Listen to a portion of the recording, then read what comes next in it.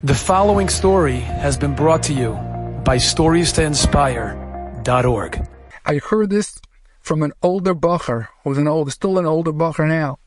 He told me he att- was at in attendance by the Levaya of Rav Shlomo Zechron Levracha, the famous Mashgiach Bal Musar, the Bal Mechaber Alei Shur.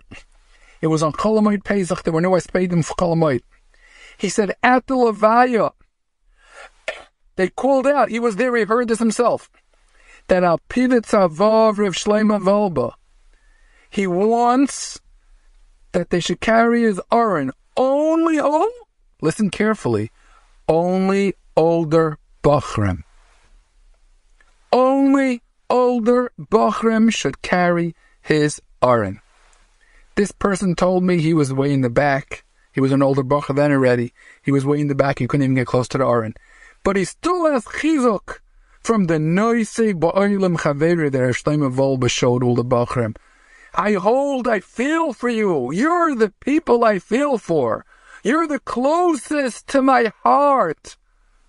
You're in the Hashem is showing them. The Nisayan that you have that you're older Bachrim, and you're holding on to Hashem. You're tzaddikim. You're the closest to my heart. You don't give up. You're special people. You're the only ones that I want to carry my Aron. He says he still has chizuk from that. What Rav Shlomo Wolbe, the noise Bo'ilam Chaveri that he showed to the older Bachram. Let's remember this message. Part of being a Pashata Yid, a simple Yid, is to be noise Bo'ilam Chaveri. Whatever it may be, I don't have to start explaining. This person has this tzara, this person has that tzara. Rahman al there's no shortage of tzaras. Let's in a smart way, without putting them down, without making them feel bad. Let's use our seichel, ashri maskeldol, but in a seichelic way.